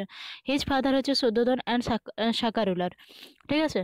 আচ্ছা এরপরে আমরা আসছি যে হিজ মাদার হচ্ছে মহামায়া এবং কৌশল ডাইনাস্টি। কৌশল ডাইনাস্টি ছিলেন এবং তার স্টেপ মাদার অর্থাৎ তিনি তার জন্মের সময় যখন মা মারা যায়, তখন হয় সপ্ত গৌতমী আসে। স্টেপ মাদার গৌতমী হচ্ছে তাকে লালন পালন করেন, তখন তার নাম হয় গৌতম। অ্যান্ড ষোলো বছর বয়সে যশোধারার সাথে তার বিয়ে হয়। তার তেরো বছর সরি তেরো বছর বয়সে বিয়ে হয় এবং আচ্ছা সরি ষোলো বছর বয়সে তার বিয়ে হয়েছিল। বিয়ের তেরো বছর পর মানে ষোলো আর প্লাস তেরো কত করুন? উনত্রিশ বছর হচ্ছে, উনত্রিশের বছর বয়সে তার একটা পুত্র হয়, পুত্রর নাম মনে রাখতে হবে রাহুল। আর তারপরে হচ্ছে তিনি উনত্রিশ বছর বয়সেই চান্না এবং হচ্ছে Kanthaka. Very very important Channa ছিল তার হচ্ছে যেটাকে বলা হয়, মেয়েদের বলা হয় সাহেলি ছেলেদের হলে কী হবে? সঙ্গী ধরুন, বন্ধু বা সঙ্গী। চান্না ছিল তার সঙ্গী অ্যান্ড কন্টক। কন্টক হচ্ছে তার ঘোড়ার নাম ছিল কন্টক। এই দুজনকে নিয়ে তিনি বাড়ি থেকে পালিয়ে গিয়েছিলেন। সেটাকে কি বলা হতো? গ্রেট রিনাউন্সিয়েশন বাংলায় যদি বলা হয়, সেটা হচ্ছে মহাভেনিসক্রাম ঠিক আছে? এরপর আমরা আসছি হিজ ফার্স্ট মেডিটেড কি ছিল? আলারা কালাম। অর্থাৎ তার প্রথম টিচার পরীক্ষায় ডাব্লিউবিসিএস মেন্স দু হাজার সতেরো পরীক্ষাটা এসে গেছে। আলারা কালাম ছিল তার teacher and his convince the could obtain liberation from sorrow mental discipline and knowledge আচ্ছা এখানে আমরা যেটা পড়ব সেটা হচ্ছে তার যে শিষ্য ছিল পাঁচজন ভেরি ভেরি ইম্পর্ট্যান্ট কোদানা, বাপ্পা, বৈদ্য, মোহনম, অশ্বগী, কৌডিন। কৌডিনটাকে এখানে কোদানা করেছে, তো হতে পারে। তো পাঁচজন যে শিষ্য ছিল, শিষ্যদের নাম মনে রাখতে হবে। অ্যান্ড এরপরে আমরা এসে যাব যে তিনি ছ বছর ধরে কি করেছিলেন? ফার্স্ট অ্যান্ড পেনান্স অর্থাৎ ছ বছর ধরে তিনি ফাস্টিং করেছিলেন অ্যান্ড তারপরে তিনি পেয়েছিলেন five disciple also left him তারপরে তার পাঁচজন যে তার শিষ্য ছিল তখনও তাকে ছেড়ে চলে গিয়েছিল। তারপর এখানে বলা হচ্ছে নির্বাণ এবং এনলাইটেনমেন্ট পঁয়ত্রিশ বছর বয়সে তিনি গিয়ে নির্বাণ লাভ করেন। কোথায়? সেটা হচ্ছে মগধ, বিহারের মগধ এবং যেটা পেপেলটরের নিচে, বাংলায় যেটাকে বলা হয় অসত্য গাছ। ঠিক আছে? এবারে আমরা হচ্ছি ডেলিভারি ফার্স্ট রমন হচ্ছে Sarnath. And five disciple heart settle তারপরে আবার তার ফাইভ ডেসিবেল যেখানে থাকে সেখানে চলে আসে। His first sermon is called হচ্ছে Dharmachakra Pravartan or turning of the wheel of law very very important খুব ইলাবোরেট করে দেওয়া আছে, ভালো করে পড়তে হবে। অ্যাটেন্ড দ্য মহাপরিনির্মাণ তারপরে তার মৃত্যুর সময়কে বলে? মহাপরিনির্মাণ কুশিনগরে হচ্ছে মৃত্যুবরণ করেছিলেন। সেটা হচ্ছে চারশো তিরাশি BC at the age of eight year আট বছর বয়সে মল্ল রিপাবলিক। অর্থাৎ আমরা যে ষোড়শ মহাজনা পদ পড়েছি, তার মধ্যে মল্ল রিপাবলিকে তিনি জন্মগ্রহণ করেন। এখানে একটা ইম্পর্টেন্ট কোশ্চেন যেটা হচ্ছে মগধ এবং বৈশালী ছিল তার হচ্ছে নিজের হচ্ছে কন্টেম্পোরারি সেই সময় তিনি কি করতেন? ওই সময়ে হচ্ছে তার বেশি তার যে বৌদ্ধ ধর্মটাকে ছড়িয়ে দিয়েছিলেন, যার জন্য পরীক্ষায় আসে যে কি বলা হয়? বুদ্ধের হ্যাঁ বুদ্ধের হচ্ছে জন্ম এবং মৃত্যু ওই বুদ্ধ মানে রিপাবলিক যেটা বলা হচ্ছে, মল্ল রিপাবলিকে তো মারা গেছেন উনি। আর জন্মগ্রহণ করেছিলেন হচ্ছে বৈশালী এবং মগধের কাছাকাছি, ঠিক আছে? তো মগধ, বৈশালী এই দুটোকেই তার ধরা হয় তার হচ্ছে জীবনী মধ্যে যুক্ত। এরপরে আমরা আসছি the dharma Indian history four great truth যেটা ছিল, সেটা হচ্ছে আমরা দেখে নেব ওয়ার্ড ইজ ফুল আচ্ছা এখানে কিছু ছেড়ে গেলাম মনে হয়। না, ঠিক আছে, এখানে হচ্ছে আমরা এটা দেখে নেব যে full of sorrow and misery এগুলো অতটা পড়ার দরকার নেই, এটা শুধু মনে রাখতে হবে যে বুদ্ধতে, বুদ্ধ ধর্মে কী ছিল? যে pain and misery can be ended by killing or controlling desire desire can be control by following eight fold পথ যেটা অস্টাঙ্গিং মার্ক এটা মনে রাখতে হবে অস্টাঙ্গিং মার্ক কি ছিল? রাইট টু ফেথ যে right to faith right thought right action right livelihood এটা বাংলায় যদি পড়েন, সৎ সত্য, সৎ পরিগ্রহ, সৎ আচার্য এরকম আছে, তো এটা টোটাল আটটা পড়ে নেবেন। রাইট কনসেন্ট্রেশন আচ্ছা এরপরে আমরা আসব বিলিপ ইন নির্বাণ। নির্মাণ লাভ করতে গেলে এইট ফোল্ড পথ অনুসরণ করতে হবে। এটা ছিল বুদ্ধের বাণী। আচ্ছা এরপরে আমরা আসছি বিলিপিন অহিংসা। অহিংসা হচ্ছে কোনো প্রাণীকে হত্যা করা চলবে না। Not cause injury any living behind এটা হচ্ছে ইউপিএসসি একটা কোশ্চেন এসেছিল এখান থেকে যে, এরা ইনসেক্ট দিকে কি মারতো? মানে ইনসেক্ট দিকে কি কোনো ইনসেক্টিসাইড প্রয়োগ করে কি মারা যেত? না, এখানে কিন্তু মারা যেত না। কিন্তু এদিকে যেহেতু ফসলের ক্ষতি হয়, সেক্ষেত্রে কিন্তু যদি জৈন ধর্মে কিন্তু মারা যেত, তো এটা কিন্তু এই দুটোর মধ্যে এটাই ডিফারেন্স আছে, ঠিক আছে? আচ্ছা এরপরে আমরা আসছি সংঘ হিস্ট্রি বৌদ্ধ ধর্ম সংঘ যেটা বলা হয়েছে। বৌদ্ধ ধর্ম সংঘ হিস্ট্রিতে আমরা আসছি চারটে council very very important Buddhist council first council হয়েছিল রাজগৃহীতে চারশো তিরাশি, তখন ছিল চেয়ারম্যান কে ছিল মহাকাশ্যপ আর অজাতশত্রু ছিল সেই সময় রাজা। ভেরি ভেরি ইম্পর্টেন্ট সেই সময় কী হয়েছিল? সেই সময় সত্যপিটক বিনয় পিটক বৈধম্য পিটক, এই তিনটে পিটককে সংকলন করা হয়েছিল, ঠিক আছে? আচ্ছা এরপরে আমরা আসছি সেকেন্ড কাউন্সিল যে সময় হচ্ছে দুটো মহাসংনিক, স্থাবীয় মহাসংনিক, এই দুটো ভাগে ভাগ হয়ে গিয়েছিল বৌদ্ধ বৌদ্ধদের বৌদ্ধ যারা অনুগামী ছিল তারা থার্ড কাউন্সিলে কী হয়েছিল? থার্ড কাউন্সিল হচ্ছে মোগলিপত তিস্য ছিলেন আচ্ছা সেকেন্ড কাউন্সিলে ছিলেন সবকামী এবং রাজা ছিলেন কালাশক ঠিক আছে? আর অশোক ছিলেন সেই সময় রাজা থার্ড কাউন্সিল পরীক্ষায় আসে এটা বারবার মনে রাখতে হবে। ত্রিপুটা যে পালি ল্যাঙ্গুয়েজে সেই সময় হচ্ছে এটা বলা হয়ে থাকে আলোচনা করা হয়ে থাকে। ফোর্থ কাউন্সিল হচ্ছে কাশ্মীরে হয়েছিল। কার সময় এতে বসুমিত্র সঙ্গে ছিল? ভাইস চেয়ারম্যান ছিল অশুভোষ উইথ ছিলেন কার সাথে? না, কনিষ্ক, ঠিক আছে? মনে রাখতে হবে কনিষ্ক বসুমিত্র আর অশ্বঘোষ এই দুইজনকে নিয়ে ফোর্থ কাউন্সিল করেছিলেন। মহাজন হিনজান, দুই ভাগে ভাগ হয়ে গিয়েছিল, ঠিক আছে? ভেরি ভেরি ইম্পর্টেন্ট আচ্ছা এরপরে আমরা আসছি যে বৌদ্ধ ধর্ম যে বিভিন্ন স্টেটে পপুলার হয়েছিল সেটা আমাদের কাছে অতটা ইম্পর্টেন্ট কেন? এখান থেকে কোনো কোশ্চেন আসবে না। তবুও জেনে রাখবেন এখানে চায়না, জাপান, কোরিয়া, আফগানিস্তান, তুর্কি অ্যান্ড সিংহল। সিংহল বলতে বর্তমানে যেটা শ্রীলঙ্কা বোঝাচ্ছে, ঠিক আছে? এরপরে আমরা আসি এখানে বুদ্ধিস্ট এটা পালি ল্যাঙ্গুয়েজ এটা মনে রাখতে হবে যে ত্রিপুরা পালি ভাষায় রচিত হয়েছিল বাট তিনি পালি ভাষায় হচ্ছে বক্তব্য দেননি। কোথাও তিনি পালি ভাষায় ধর্মপ্রচার করেননি, তিনি ধর্মপ্রচার করেছিল প্রাকৃত মাগধি। এটা মনে রাখতে হবে, এটা হচ্ছে পরীক্ষায় অনেকবার আসে। তো এরপরে চলে আসুন, এখানে আর আমাদের পড়ার, এখানে নেই, ওখানে আপনার যেটা আছে সত্যপিঠক, বিনয়পিঠক, অভিধানপিঠক, এই তিনটের সম্বন্ধে একটু পড়ে নেবেন এখানে। এরপর আমরা বুদ্ধিজম আর আসছি না আসছি এবারে জৈনিজম, ঠিক আছে? জৈনিজম যেটা আছে ফাউন্ডার দ্য ঋষভনাথ আমরা সবাই জানি প্রথম তীর্থঙ্কর হচ্ছে ঋষভনাথ তেইশতম তীর্থঙ্কর পার্শ্বনাথ আর চব্বিশতম তীর্থঙ্কর হচ্ছে মহাবীর। প্রকৃত প্রতিষ্ঠাতা যদি বলা হয় মহাবীরকে বলা হয়, ঠিক আছে? আচ্ছা এখানে একটু একটা ইম্পর্টেন্ট জিনিস হচ্ছে বর্ধমান মহাবীরের জন্ম এবং মৃত্যুসালটাও মতান্তর করে প্রতিটা এক্সাম মানে বইতে দেওয়া আছে। তো সেটা সেইভাবে বলতে কোথাও আছে? পাঁচশো আটানব্বই, কোথাও আছে? পাঁচশো নিরানব্বই বেশি তো কুণ্ডগ্রামে, বিহারের কুণ্ডগ্রামে ডিস্ট্রিক্ট মুজাফরপুরে জন্মগ্রহণ করেছিলেন। হিজ ফাদার হচ্ছে তার পিতা ছিল শুদ্ধার্থ এবং তিনি ছিলেন যন্ত্রিকা কিলেন। ভালো করে মনে রাখতে হবে, বুদ্ধ ছিল সাক্ষ্য কিলেন আর মহাবীর ছিলেন যন্ত্রিকা কিলেন। মাদার ছিল Trishala and sister of Lichchhavi Lichchhavi prince এটাও পরীক্ষায় আছে, লিচ্ছবি প্রিন্স চেতক অফ বৈশালী। বৈশালীর হচ্ছে লিচ্ছবি প্রিন্স চেতক চেতকের আচ্ছা চেতকের কন্যা ছিলেন লিচ্ছবি, যার লিচ্ছবি অ্যাকচুয়ালি এটা নাম ছিল ত্রিশালা, কিন্তু লিচ্ছবি প্রিন্সের কন্যা ছিলেন চেতকের বোন। আচ্ছা এরপরে আমরা আসছি মহাবীর ওয়াজ রিলেটেড হচ্ছে বিম্বিসার। আচ্ছা বিম্বিসার এই কারণে বলা হচ্ছে সেই সময় হচ্ছে রাজগিরিতে রাজা ছিল বিম্বিসার, বিম্বিসারের কন্টেম্পোরারি ছিলেন। পরীক্ষা এটা আছে, হচ্ছে মহাবীর হচ্ছে কন্টেম্পোরারি অফ হুইচ রুলার বা এরকম নাম আছে। তো সেক্ষেত্রে আপনাকে দিতে হবে ম্যারেড হয়েছে, যশোদা, যশোদার সাথে বিয়ে হয়েছিল এবং তার হচ্ছে একটা মেয়ে হয়েছিল। বুদ্ধদেবের যেমন একটা ছেলে হয়েছিল মহাবীরের তেমন একটা মেয়ে হয়েছিল, নামটা মনে রাখতে হবে প্রিয় দর্শনা ঠিক আছে? প্রিয় দর্শনা হয়েছিল। তিরিশ বছর বয়সে তিনি death of his parent he became in ascetic আচ্ছা অ্যাসেটিক আর অ্যাসেটিক মানে হচ্ছে সে কী করতো, সে হচ্ছে বিশ্বাসী ছিল। ঈশ্বরের বিশ্বাস ছিল গৌতম বুদ্ধ কিন্তু ঈশ্বরের বিশ্বাস ছিল না। এগুলো ডিফারেন্সগুলো মনে রাখতে হবে। Thirteen years of asceticism and Vishakha outside of town হচ্ছে জিরেম্বগ্রাম supreme knowledge of Kaivalya. Kaivalya লাভ গ্রহণ করেছিলেন তিরিশ বছর মানে তেরো বছর পরে, ঠিক আছে? আচ্ছা এখানে দিয়েছে, তেরো বছর পরে বলতে তার তেরো বছর ধরে সে সাধনা করার পরে সে কৈবল্য লাভ পেয়েছিল। আর at age of seventy eight sorry seventy two বাহাত্তর বছর বয়সে সে মারা গিয়েছিল পাবানগরীতে ঠিক আছে? এবারে আমাদের কাছে এখানে ইম্পর্ট্যান্ট কোশ্চেন যেটা হচ্ছে স্থূলভদ্র স্থূলভদ্র আর হচ্ছে ভদ্রবাহু। এই দুইজন হচ্ছে দুজন হচ্ছে যে দুটো যে ভাগ হয়ে গিয়েছিল জৈন ধর্ম দুটো ভাগ হয়ে গিয়েছিল, যেটা হচ্ছে কি না আচ্ছা শ্বেতাম্বর দিগম্বরে দুটো ভাগ হয়ে গেছিল, যেটা শ্বেতাম্বর মানে শ্বেত শ্বেতবস্ত্র পরিধান করতো, আর দিগম্বর ছিল যারা নেকেড থাকতো, ঠিক আছে? কিন্তু এখানে মনে রাখতে হবে, মহাবীর কিন্তু নেকেডদের পরিপন্থী ছিলেন, অর্থাৎ মহাবীর ছিলেন যেটা দিগম্বর, ঠিক আছে? দিগম্বর ছিলেন মহাবীর। আর এখানে একটা জিনিস মনে রাখতে হবে আপনাদের যে এখানে ভদ্রবাহু যিনি ছিলেন, তিনি দক্ষিণ ভারতে গিয়েছিলেন। সেই সময় চন্দ্রগুপ্ত মৌর্য এখানে দেওয়া রয়েছে, শ্রাবণ বেলগোলায় মারা গিয়েছিলেন। হচ্ছে সেখানেও তিনি ফাস্টিং করে এবং চন্দ্রগুপ্ত মৌর্য হচ্ছে জৈন ধর্মের পরিপন্থী ছিলেন। আর এটা মনে রাখতে হবে আপনাকে যে ভদ্রবাহু দক্ষিণ ভারত আর ভদ্র, এটা পড়ার জন্য মনে রাখতে বলছি, কেউ খারাপভাবে নেবেন না। ভদ্রবাহু ছিল অভদ্র। এটা এই কারণে বললাম, ভদ্রবাহু অভদ্র কেন? তিনি ন্যাকেডের পরিপন্থী ছিলেন। পরীক্ষা এটা আসে এই জন্য বললাম অনেক পরীক্ষা এসেছে এটা, যেটা হচ্ছে ভদ্রবাহু ছিলেন শ্বেতাম্বর না দিগম্বর দিগম্বর শ্বেতাম্বর অনেকে হচ্ছে গুলিয়ে ফেলেন। তো সেক্ষেত্রে এটা মনে রাখবেন, ভদ্রবাহু ছিলেন অভদ্র। মানে নামে ভদ্রবাহু কিন্তু অভদ্র ছিলেন, অর্থাৎ তিনি নেকেডের পরিপন্থী ছিলেন, ঠিক আছে?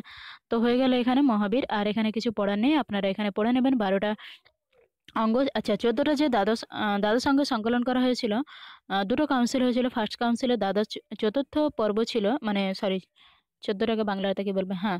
তো চতুর্দশ পর্ব ছিল, সেটা হচ্ছে আপনার বারো অঙ্গে সংকলন করা হয়। ফার্স্ট কাউন্সিল হয়েছিল পাটলিপুত্র সেকেন্ড কাউন্সিল হয়েছিল বল্লভীতে যখন বারো উপাঙ্গ, বারো অঙ্গ এবং বারো উপাঙ্গে ভাগ করা হয়েছিল এবং শ্বেতাম্বর দিগম্বর দুই ভাগ হয়ে গেছিল সেকেন্ড কাউন্সিলে মাইন্ডেড এগুলো খুব পরীক্ষায় আসে তো এখানে আর আমরা তেমন কিছু পড়ছি না। এবারে ডিটেলস আপনারা যারা নেবেন পিডিএফটা পড়ে নেবেন, এবারে আমরা আসছি মগধ মগধ এম্পায়ার ঠিক আছে? ভেরি ভেরি ইম্পর্টেন্ট মগধের প্রথম রাজাকে ছিল আমরা সবাই জানি। মগধের প্রথম রাজবংশ ছিল হর্ষঙ্ক হংস হর্ষঙ্ক বংশের প্রতিষ্ঠাতাকে ছিল বিম্বিসার, যেটা বাংলা ইংলিশে বলা হয় হরিয়াঙ্কা ডাইনাস্টি ঠিক আছে? আচ্ছা তো বিম্বিসার আমরা জানি, বিম্বিসার হচ্ছে রাজা ছিল, এখানে আর কিছু পড়ব না contemporary of Buddha and Mahavira, এই দুটোই আমরা পড়ব, ঠিক আছে? এরপরে আমরা এখানে যেয়ে যাব, তার রাজধানী ছিল রাজগৃহ বা তারপরে আসে গিরিব্রজ থেকে রাজগৃহ, এটা মনে রাখতে হবে। তারপরে আসে অজাতশত্রু পিতাকে হত্যা করে অজাতশত্রু সিংহাসনে বসে যার জন্য তার নাম হয়েছিল কি? এটা সরি অদ্বৈত শত্রু হচ্ছে কুনিক উপাধি লাভ করেছিল, ঠিক আছে? যেহেতু পিতাকে হত্যা করে সিংহাসনে বসে। আচ্ছা এরপরে আসে উদয়ন। উদয়ন উদয়ন আসে অজাতশত্রু তো রাজধানী পাটলিপুত্র সরি অজাতশত্রু যখন ছিল, রাজধানী ছিল রাজগৃহই কিন্তু উদয়ন যখন আসে পরীক্ষায় বেশিরভাগ আসে এটা মানে ডাব্লিউবিসিএস প্রিলিমস বলুন আর মেন্স বলুন। আচ্ছা আমি একটু স্পিডি পড়াচ্ছি বলে তার জন্য সরি কিন্তু স্পিডি না পড়ালে আমি হচ্ছে ভিডিওটা কমপ্লিট করতে পারব না, ঠিক আছে? যার জন্য, কিন্তু যে কটা বলছি, সে কটাই প্রত্যেকটা একটা একটা কোশ্চেন তাহলে উদয়ন উদয়ন হচ্ছে তার রাজধানীকে রাজগৃহ থেকে পাটলিপুত্র স্থানান্তর করেছিল। ভেরি ভেরি ইম্পর্টেন্ট কোশ্চেন এটা ভালো করে মনে রাখতে হবে, ঠিক আছে?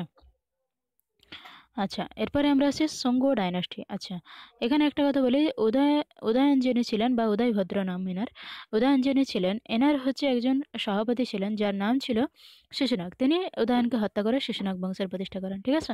তো শিশুনাগ বংশের প্রতিষ্ঠাতা করেছিলেন কে? শিশুনাগ শিশুনাগ, ঠিক আছে? তার মিনিস্টার শিশুনাগ।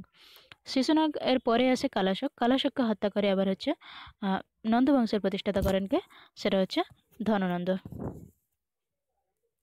ঠিক আছে? তো এবারে আমরা নন্দবংশটা দেখে নিই। নন্দবংশের প্রতিষ্ঠাতাকে সরি মহাপদ্মনন্দ হবে ধননন্দ নয় ঠিক আছে, তো শিশুনাগকে হত্যা কালাশক বা কাকর্ণকে হত্যা করেছিল কে? মহাপদ্মনন্দ। মহাপদ্মনন্দ হত্যা করে মহাপদ্মনন্দ নন্দবংশের প্রতিষ্ঠা করেন। শেষ রাজা হচ্ছে ধননন্দ। তার সময় Alexander attack India in the ইরিগেন তাহলে বন্ধুরা, আমরা এখানে দেখছিলাম যে আলেকজান্ডার ইনভেনশন। আলেকজান্ডার ইনভেনশন হচ্ছে কত খ্রিস্টাব্দে ভারত আক্রমণ করেছিল? আলেকজান্ডার, সেটা হচ্ছে তিনশো তেইশ বিসিতে উনি মারা গিয়েছিলেন তিনশো ছাব্বিশ, ঠিক আছে? তিনশো ছাব্বিশ বিসি ইনভেডার ইন্ডিয়া। আচ্ছা এখানে একটা জিনিস লক্ষ্য রাখতে হবে, আলেকজান্ডার যখন ভারত আক্রমণ করেছিল, তখন কোন রাজা তাকে আমন্ত্রণ জানিয়েছিল আর কোন রাজা তার বিরুদ্ধে যুদ্ধ করেছিল? দুটোই পরীক্ষায় আছে। তো সেটা হচ্ছে যুদ্ধটা আগে দেখে নিই, যে এক্সেপ্ট প্রু অর্থাৎ পুরু যুদ্ধ করেছিল আলেকজান্ডারের সাথে এবং সেটা হচ্ছে ব্যাটেল অফ হিদাসপিস হিদাসপিসের যুদ্ধ বলা হয় বা ঝিলামের যুদ্ধ বলা হয়, যেটা যেহেতু এটা ঝিলাম নদীর তীরে হয়েছিল। আর অম্ভি তাকে হচ্ছে আমন্ত্রণ জানিয়েছিলেন। সেই সময় হচ্ছে ওইখানকার রাজা ছিলেন অম্ভি। অম্ভি হচ্ছে উপরহুকন স্বরূপ আলেকজান্ডারকে আমন্ত্রণ জানিয়েছিলেন। ঠিক আছে? আচ্ছা এরপরে দেখা যাবে যে উনি দুটো সেনাবাহিনী গঠন করেছিলেন, একটা হচ্ছে স্থলপথে, একটা হচ্ছে জলপথে। সেনাবাহিনী গঠন করে উনি স্থলপথে যখন যাত্রা করছিলেন, তখন ব্যাবিলনে তিনি মারা যান, ঠিক আছে? এটা মনে রাখতে হবে। আচ্ছা এরপরে আমরা আসব মৌর্য ডায়নাস্টি আচ্ছা আমরা জানি ধনানন্দ সরি আলেকজান্ডার যখন ভারত আক্রমণ করেছিল, সেই সময় এখানকার রাজা কে ছিলেন? তখন রাজা ছিলেন ধনানন্দ অর্থাৎ নন্দ ডায়নাস্টি ঠিক আছে? তারপরে আছে মৌর্য ডায়নাস্টি তো বন্ধুরা, এখানে একটা কথা বলে দেবো। ভিডিওটা প্রায় এক ঘণ্টা হয়ে গেছে। তো আমার মনে হয় পার্ট টু আমরা পুরো মেডিয়েভালটা আলোচনা করে নেব আর একটাতে পুরো মডার্ন ইন্ডিয়া পুরোটাই আলোচনা করে নেব, ঠিক আছে? তো এখানে মৌর্য ডাইনাস্টিটা আমরা একটু পড়ে নিই। মৌর্য ডাইনাস্টি হচ্ছে চন্দ্রগুপ্ত মৌর্য। কৌটিল্য এবং বিষ্ণুগুপ্ত আছে। এখানে একটা জিনিস চাণক্যর একটা নাম ছিল কৌটিল্য, আবার হচ্ছে বিষ্ণুগুপ্ত। তার সহযোগিতায় মৌর্য ডাইনাস্টি হচ্ছে চন্দ্রগুপ্ত মৌর্য। তার মা তার মাতা মোরান নামানুসারে বলা হয় অনেক সময় যে চন্দ্রগুপ্ত মৌর্য হচ্ছে মৌর্য বংশ প্রতিষ্ঠা করেছিলেন, ঠিক আছে? আর সে সময় তার সরি এখানে একটা জিনিস বলতে ভুলে গেলাম যে চন্দ্রগুপ্তকে বলা হয় স্যান্ড্রা কোট্টাস স্যান্ড্রা কোট্টাস বলা হয় চন্দ্রগুপ্তকে। তাহলে এখানে হচ্ছে চন্দ্রগুপ্ত কল হচ্ছে Sandrocottus by the Greek scholar তাহলে মৌর্য ডাইনাস্টি এখানে আমরা পড়লাম যে বিষ্ণুগুপ্ত বা কৌটিল্যের সহযোগিতা চন্দ্রগুপ্ত মৌর্য আচ্ছা মৌর্য বংশের প্রতিষ্ঠা করেন, ঠিক আছে? আর চন্দ্রগুপ্ত মৌর্যকে বলা স্যান্টা কোট্টাস আচ্ছা স্যান্টা কোট্টাস কারা বলেছেন? গ্রিক স্কলাররা বলেছেন, তাকে স্যান্টা কোট্টাস আচ্ছা এরপরে আমরা জানি এখানে Seleucus Nicator Seleucus Nicator was was one of the general of Alexander ঠিক আছে? এটা very very important for upcoming exam তো আলেকজান্ডার জেনারেল কে ছিলেন? তিনি ছিলেন সেলুকাস নিকেটার ঠিক আছে? ভেরি ভেরি ইম্পর্টেন্ট এরপরে আমরা আসছি এখানে ইম্পর্টেন্ট জিনিস হচ্ছে এখানে account is given by Megasthenes তো আমরা জানি যে চন্দ্রগুপ্ত মৌর্য সময় কে এসেছিল? মেগাস্তিনিস এসেছিল ভারতে, ঠিক আছে? এবং সে কত বছর ছিল? সে চোদ্দ বছর ছিল এখানে ইন্ডিয়াতে আচ্ছা এরপরে আমরা আসছি বিন্দুসার আমরা জানি যে চন্দ্রগুপ্ত মৌর্যের পরে বিন্দুসার হচ্ছে সিংহাসনে বসে আচ্ছা বিন্দুসার সিংহাসনে বসে এটা হচ্ছে, এখানে হচ্ছে একটা ইম্পর্টেন্ট জিনিস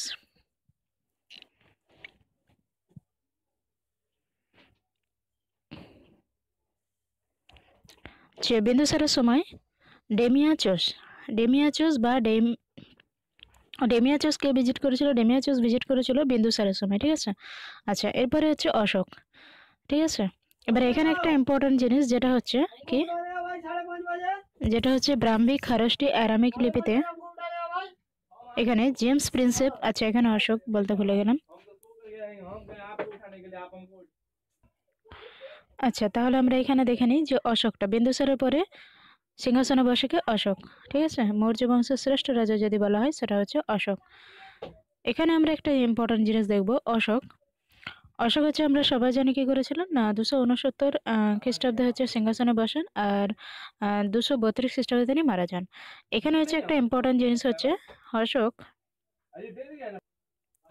মেন ইম্পর্টেন্ট জিনিস হচ্ছে Ashoka was appointed the viceroy of Taxila and Ujjayini এটা পরীক্ষা এসেই থাকে। অশোক যে অশোক যে এখানে হচ্ছে, মৌর্য বংশের সম্রাট হয়েছিলেন, তার আগে তিনি কোথাকার ভাইসরয় ছিলেন? Viceroy of Taxila and Ujjayini very very very very important with his father ঠিক আছে? তার বাবা হচ্ছে বিন্দুসার হচ্ছে, তাকে নিযুক্ত করেছিলেন তক্ষশিলা এবং উজ্জয়িনীর ভাইসরয় হিসেবে, ঠিক আছে? এরপর আমরা এখানে আসব যে আমরা এটা সবাই জানি, সব বইতে এটা পাওয়া যায়। তিনি তার নাইনটি নাইন ব্রাদারকে কিল করে নাইনটি নাইন ব্রাদারকে হত্যা করে তিনি সিংহাসনে বসেছিলেন। যার জন্য তাকে বলা হয় কি, চণ্ডাশোক। চণ্ডাশোক বলা হয়, ঠিক আছে? আর এখানে হচ্ছে ইম্পর্টেন্ট জিনিস হচ্ছে দ্য ইনস্ক্রিপশন ফলোইং ল্যাঙ্গুয়েজ তিনি কোন কোন ভাষায় লিখেছেন এটা? ডাব্লিউবিসিএস মেন্স দু হাজার সতেরো ডাব্লিউবিসিএস মেন্স দু হাজার আঠেরো ডাব্লিউবিসিএস মেন্স দু হাজার উনিশ সবেতেই এসেছে পরীক্ষায়। এটা হচ্ছে ইম্পর্টেন্ট জিনিস কি না, ব্রাহ্মী, খারেস্টিয়ান, অ্যারামিক লিপি গ্রিকটা পরে হবে। বেশিরভাগ উনি লিখতেন ব্রাহ্মী এবং খারেস্টি লিপিতে। তারপরে উনি ব্রাহ্মী খারেস্টি উইথ অ্যারামিক লিপিতে লিখতে শুরু করেন। তার হচ্ছে ইনস্ক্রিপশন ডেসিফাইড করেছে কে? পাঠোদ্ধার করেছে কে? সেটা হচ্ছে জেমস প্রিন্সেপ কত খ্রিস্টাব্দে? আঠেরোশো সাঁত্রিশ খ্রিস্টাব্দে, ঠিক আছে? আচ্ছা এরপরে আমরা আসছি যে এক্সটেন্ট অফ এম্পায়ার আচ্ছা এখানে সেরকম কিছু পড়া নেই। এরপরে আমরা দেখে নেব, যারা পিডিএফটা নেবেন ডিটেলস পড়া নেবেন। আমি শুধু যেগুলো পরীক্ষায় আসবে সেইগুলো শুধু আমরা আলোচনা করব। যেগুলো বারবার পরীক্ষায় এসেছে। কলিঙ্গ এর। কলিঙ্গ যুদ্ধ কবে হয়েছে? দুশো একষট্টি বিসি আচ্ছা এখানে একটা জিনিস ইম্পর্টেন্ট জিনিস বলে রাখি। এখানে হচ্ছে অশোক যে সিংহাসন আরোহণ করেছিলেন, তার চার বছর পরে তার রাজ্যাভিষেক হয়েছিল, ঠিক আছে? সেটা মনে রাখতে হবে। আচ্ছা এখানে একটা জিনিস হচ্ছে দুশো একষট্টি বেশি অর্থাৎ দুশো একষট্টি মতান্তরে কোথাও কোথাও আছে, দেখবেন দুশো ষাট বেশি ঠিক আছে? সেটা হচ্ছে থার্টিন রকেরিটে উল্লেখ আছে থার্টিন মেজর রকেরিটে উল্লেখ আছে, কলিঙ্গ এর, অর্থাৎ কলিঙ্গ যুদ্ধের কথা বর্ণনা করা হয়েছে। আর অশোক জীবনে একটা যুদ্ধ করেছিলেন, যেটা হচ্ছে কলিঙ্গ যুদ্ধ। কলিঙ্গ যুদ্ধ অনেক হানাহানি হয়, তারপরে সে চণ্ডাশোক থেকে নাম হয়ে যায় ধর্মাশোক, ঠিক আছে? আর সে অ্যাপয়েন্টেড করেছিল ধর্ম মহাপাত্র, বিভিন্ন জায়গায় বৌদ্ধ ধর্ম হচ্ছে স্প্রেড করার জন্য। এখানে একটা ইম্পর্টেন্ট জিনিস, অশোক কিন্তু বৌদ্ধ ধর্মে দীক্ষিত করেছিল বাই উপগুপ্ত, উপগুপ্তর মাধ্যমে। ঠিক আছে? এগুলো মনে রাখতে হবে কিন্তু। ঠিক আছে? আর অশোকের মাস্কি লিপিতে জানা যায় যে অশোকের নাম হচ্ছে বুদ্ধাশোক এবং ধর্মাশোক ঠিক আছে? আর সারনাথ লিপিতে তিনি নিজের নাম রেখেছিলেন, দেবনাম প্রিয় প্রিয়দর্শী। ঠিক আছে? আচ্ছা। এরপরে আমরা significance of Maurya rule causes of the Maurya empire এগুলো আপনারা পড়ে নেবেন। ঠিক আছে, এরপরে আমরা আসছি Indo Greek central Asia contact Indo Greek আচ্ছা এখানে হচ্ছে ইন্দো গ্রিকদের জন্য ইম্পর্টেন্ট একটা কোশ্চেন আমরা সবাই জানি ইন্দো গ্রিক রাজা কে ছিলেন মিনান্দার। মিনান্দার আর নাগসেনের দুজনের হচ্ছে কথোপকথন একটা বই, যেটার নাম হচ্ছে মিলিন্দা পনহ ঠিক আছে, আর এখানে একটা জিনিস হচ্ছে, গ্রিক এবং ব্যাকটেরিয়ান গ্রিক, এরা কিন্তু আমরা জানি যারা ইন্দো গ্রিক ছিলেন তারা প্রথম গোল্ড কয়েন এখানে দেওয়াই রয়েছে। Issue coin definitely attribute the king আচ্ছা কিংয়ের নাম অনুসারে কিছু অপোজিট সাইডে কিং থাকতো, তার অপোজিট সাইডে হচ্ছে কিংয়ের বর্ণনা, অর্থাৎ রাজার ছবি বা রাজার সম্বন্ধে বর্ণনা করা থাকতো, ঠিক আছে? আচ্ছা। আর এটা হচ্ছে গোল্ড কয়েন। গ্রিকরা হচ্ছে, ইন্দো গ্রিকরা প্রথম হচ্ছে গোল্ড কয়েন আবিষ্কার করেছিলেন। এরপরে আসে, ইন্দো গ্রিকের পরে আসে শক শক অর্থাৎ যেটা ইংলিশে বলা হবে শাখা শাকা রুলার বা Scythian of history. Shaka ruler রেখেছিলেন শক রাজা রুদ্রদমন, আমরা সবাই জানি। রুদ্রদমনের জুনাগড় লিপি, এখানে দেওয়াই আছে রুদ্রদমন। আচ্ছা এখানে আর সেরকম কিছু পড়ার নেই, আমরা এটা দেখে নেব। পার্থিয়ানরা এসেছে। তো আমরা পার্থিয়ান কিং দেখে নেব। পার্থিয়ান কিং কে ছিলেন? সব থেকে ফেমাস পার্থিয়ান কিং ছিলেন গন্ড ফার্নিস এটা আমরা সবাই জানি যে গন্ড ফার্নিস ছিলেন ফেমাস পার্থিয়ান কিং গন্ড ফার্নিসের সময় এসেছিলেন অর্থাৎ পার্থিয়ান রেগেন অর্থাৎ পার্থিয়ান রেগেন অর্থাৎ সেই সময় গন্ড ফার্নিসের সময়ে কে এসেছিলেন? না, Saint Thomas. Very very important person অনেকে এটা জানে না যে সেন্ট থমাস কোন সময় এসেছিলেন, ঠিক আছে? পার্থিয়ান কিং রাজা গন্ড গন্ড ফার্নিসের সময়, ঠিক আছে? এরপরে আমরা আসি কুষাণ ডাইনাসি কুষাণটা আমাদের কাছে অনেকটা ইম্পর্টেন্ট কেন এখান থেকে অনেক কোশ্চেন প্রতিটা পরীক্ষায় এসে থাকে। কোশ্চেন হচ্ছে, এটা বলা হচ্ছে যে তারা এসেছিলেন সেন্ট্রাল এশিয়া থেকে, ঠিক আছে? সেন্ট্রাল এশিয়া বা নিয়ার চায়নার কাছাকাছি থেকে এসেছিলেন। আচ্ছা কুষাণ রাজ কনিষ্ক আমরা সবাই জানি ইম্পর্টেন্ট অর্থাৎ সব থেকে হচ্ছে গুরুত্বপূর্ণ রাজা ছিলেন Kanishka famous king and he had two capital first on Purushapura and Peshawar এটা আমরা সবাই জানি কনিষ্কের রাজধানী কোথায় ছিল? কনিষ্কের রাজধানী হচ্ছে পুরস্পুর পেশো এবং সেকেন্ড হয়েছিল মথুরায়, তিনটেই মনে রাখতে হবে তার রাজধানী। আচ্ছা এরপরে আমরা আসছি যে তার সময় কুষাণ সাম্রাজ্যের সময় এবং কনিষ্কের সময় বিশেষ করে কে কে? হচ্ছে তার সভাকবি ছিলেন। এক হচ্ছে অশ্বঘোষ। অশ্বঘোষ লিখেছিলেন বুদ্ধচরিত হচ্ছে বায়োগ্রাফি অফ বুদ্ধ এবং সূত্রালঙ্কার। এরপরে আমরা আসছি নাগার্জুন। নাগার্জুন কি ছিলেন? নাগার্জুন লিখেছিলেন মধ্যমিকার সূত্র। Very very important Vasumitra. Vasumitra ছিলেন chairman of the fourth Buddhist council আমরা জানি ফোর্থ বুদ্ধিস্ট কাউন্সিলে বসুমিত্র অশ্বঘোষের সাথে ছিলেন কনিষ্ক। আচ্ছা এরপর আমরা আসছি চরক। চরক কে ছিলেন? চরক হচ্ছে, সুশ্রুত লিখেছেন চরক। আচ্ছা তিনি ছিলেন একজন ফিজিশিয়ান এগুলো আমাদের কাছে ইম্পর্টেন্ট আচ্ছা এরপরে আমরা জানি কুষাণরা আচ্ছা এরপরে একটা ইম্পর্টেন্ট জিনিস আছে কোশানদের মধ্যে কি? আচ্ছা কুষাণ হচ্ছে প্যাটার্নিস কনিষ্ক প্যাটার্নিস করেছিল বুদ্ধিজম, ঠিক আছে? কি যার জন্য তিনি চতুর্থ বুদ্ধিস্ট কাউন্সিল হচ্ছে চতুর্থ বুদ্ধিস্ট কাউন্সিলে তিনি ছিলেন একজন চেয়ারম্যান হিসাবে, ঠিক আছে?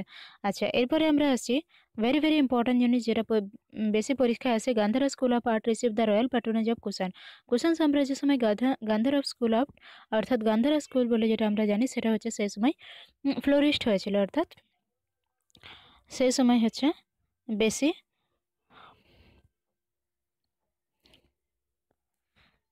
বেশি আলোচিত ছিল গান্ধারা স্কুল আচ্ছা এরপরে আমরা আসছি সেন্ট্রাল এশিয়া কন্ট্যাক্ট এগুলো অতটা আর পড়ব না। অ্যাবাউট কোসান ডাইনাস্টি সম্বন্ধে ডিটেলস দেওয়া আছে, তাদের এগ্রিকালচার তাদের ইকোনমি তো এগুলো হচ্ছে তারা, আপনারা পড়ে নেবেন যখন পিডিএফটা নেবেন। আমি শুধু ইম্পর্টেন্ট ইম্পর্টেন্ট জিনিস পড়ে যাচ্ছি। এবারে আসছি কিংডম অ্যান্ড মৌর্য। ঠিক আছে? কিংডম মৌর্য বলতে আফটার মৌর্য, ঠিক আছে? অর্থাৎ মৌর্য বংশের পরে যে যে বংশ উৎপত্তি লাভ করেছে সেগুলো। শুঙ্গ ডাইনেস্টি শুঙ্গ ডাইনেস্টি ছিল শুঙ্গ বংশের প্রতিষ্ঠাতা, আমরা জানি পুষ্যমিত্র শুঙ্গ। ঠিক আছে? এটা নর্মদা নৈত্রে অবস্থিত। আর এখানে হচ্ছে fifth king was Bhagabhadra court of dress আচ্ছা এগুলো অতটা বলার প্রয়োজন নেই।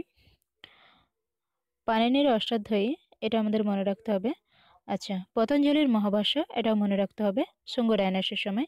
এবং কালিদাস মালিক অগ্নিমিত্রম যেটা হচ্ছে রাজা অগ্নিমিত্র, শুঙ্গ কিং রাজা অগ্নিমিত্র। আমি আগের দিনে যে হিস্ট্রি কোশ্চেন আলোচনা করেছিলাম এমসি ফ্রম জীবন মুখোপাধ্যায় সেখানে আমি জিজ্ঞাসা করেছিলাম যে অগ্নিমিত্র নিয়ে যে মালবিক অগ্নিমিত্রম লেখক কালিদাস লিখেছিলেন, যেটা মানবিক অগ্নিমিত্রম নাটক, ও রাজা অগ্নিমিত্রের সম্বন্ধে, অগ্নিমিত্র কোন ডাইনাসি থেকে বিলং করছেন? এই টাইপেরই কোশ্চেন আছে বেশি আছে তো আপনারা বলতে পারেননি বা কেউ রিপ্লাই করেনি তো এটা শুঙ্গ ডাইনাস্টি থেকে বিলং করছেন উনি, ঠিক আছে? দেন আমরা আসছি কান্ন ডাইনাস্টি কান্ন ডাইনাস্টি যেটা সুঙ্গুর পরে আছে কান্ন। কান্ন বংশের প্রতিষ্ঠাতা ছিলেন বাসুদেব কান্ন, ঠিক আছে? তিনি ছিলেন হচ্ছে শুঙ্গ বংশের লাস্ট রাজা দেবভূতিকে হত্যা করে তিনি বাসুদেব কান্ন হচ্ছে কান্ন বংশের প্রতিষ্ঠা করেন। এরপরে আমরা আসছি চেতি অফ কলিঙ্গ। এটা চেতিও বলেন কেউ কেউ আবার চেদীয় বলেন, ঠিক আছে? চেদি রাজ্য বা চেতি রাজ্য একই। আচ্ছা হাতিগম্পা ইনস্ক্রিপশন হচ্ছে ভুবনেশ্বর, হাতিগম্পা ইনস্ক্রিপশন এটা হচ্ছে কলিঙ্গরাজ খারবেলের চেদাই কিংডম বা হচ্ছে চেতি। কলিঙ্গরাজ খারবেলের লেখা আচ্ছা এখানে হচ্ছে ইম্পর্টেন্ট জিনিস যেটা। Jainism and patronism the great extent Cheti kingdom বা চেদি কিংডম রেখেছিলেন কলিঙ্গরাজ খারবেল ছিলেন, জৈন ধর্মের এর হচ্ছে প্রতি মানে কি করেছিলেন? ফলোয়ার ছিলেন, ঠিক আছে? জৈন ধর্মের ফলোয়ার আচ্ছা এরপরে আমরা আসছি সাতবাহন। সাতবাহনটা কোন দিকে ছিল? সাউথে ছিল। অন্ধ্র বলা হয় এদিকে আচ্ছা এরা ছিল সাউথ ডেকান। ডেকানে ছিল এদের সাম্রাজ্য। আচ্ছা এখানে হচ্ছে ইম্পর্টেন্ট জিনিস সাত সাতবাহনদের জন্য। সাত সাতবাহনটা হচ্ছে লেড কয়েন প্রস্তুত করতো। এটা ভেরি ভেরি ইম্পর্টেন্ট অনেক সময় পরীক্ষা আছে লেড কয়েন হচ্ছে প্রস্তুত করতে পারে সাতবাহন সাতবাহন বংশের প্রতিষ্ঠাতা হচ্ছে সিমক। সাতবাহন গৌতমের ভিতরে সাতকর্ণী হচ্ছে এখানকার মানে এই সময়ের ইম্পর্টেন্ট রাজা।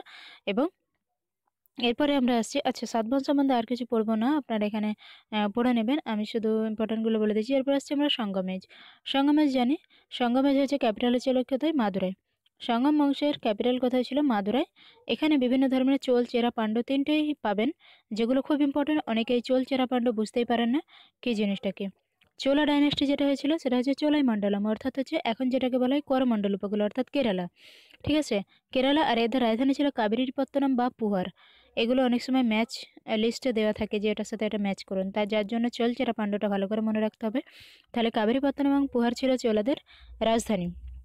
আচ্ছা চোল রাজা কারিকাল ছিলেন এখানে বিখ্যাত। এরপরে আমরা আসছি চেরা। চেরা হচ্ছে রাজধানী ছিল ভাঞ্জি, যেখানে কেরালা উপকূলেই অবস্থিত। কেরালা উপকূলেই কিন্তু এদের রাজধানী ছিল ভাঞ্জি বা ভাজ্জি। ভাজ্জি নয়, এটা ভাঞ্জিই ধরতে হবে। আচ্ছা গ্রেটেস্ট কিং ছিল চেরার হচ্ছে সেঙ্গুত্তবান সেঙ্গুত্তবান যাকে রেড চেরাও বলা হতো, ঠিক আছে? আচ্ছা এরপরে আমরা আসছি আদার্স টু কিংডম যেটা হচ্ছে Sangam correspondence post Maurya and প্রিগুপ্ত period আচ্ছা।